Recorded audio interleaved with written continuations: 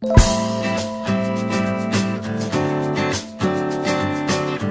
stvar je, najdite delo, najdimo delo, ki nas veseli. Vsem tako dosegamo super rezultate, to je relativno za vsakega posameznika, kar je super rezultat, pa samo tako bomo najdeli srečo mir.